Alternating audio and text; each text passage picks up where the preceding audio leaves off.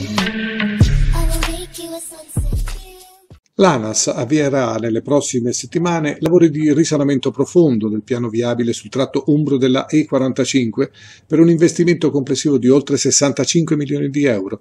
Gli interventi, tutti finanziati e per la gran parte già appaltati, ha reso noto la società, riguarderanno l'intero itinerario dal confine con il Lazio fino a quello con la provincia di Arezzo. Consisteranno nel completo rifacimento della pavimentazione fino agli strati più profondi.